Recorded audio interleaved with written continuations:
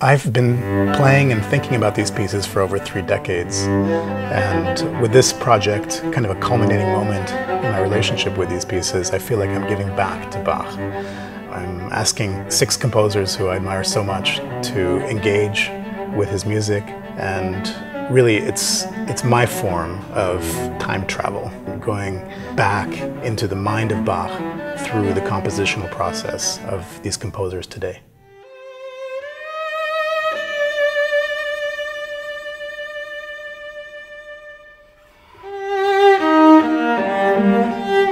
Overtures to Bach by these six composers, I've recorded the preludes of each of the suites so that you can experience the seamless segue from the new to the old.